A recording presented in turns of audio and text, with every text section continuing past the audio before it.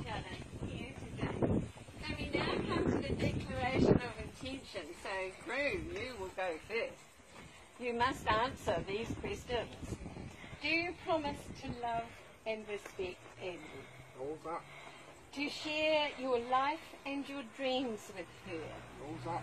To share a home with her that is a place of happiness and growth. All that.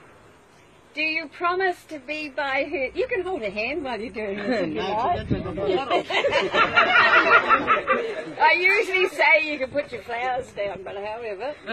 just- Hey, put your flowers down, Daddy. Um, do you promise to be by her side in any successes in the future that she has? And you to always give her your unwavering support, and above all else, continue to respect her as I know you do now, and also allow her the freedom to be herself. okay. All right. Now the bride. And do you promise to love and respect the man beside you? To share your life and your dreams with him? To share a home with him? A place of love and happiness? Do you promise to be by his side? Vocalize it? It's all right.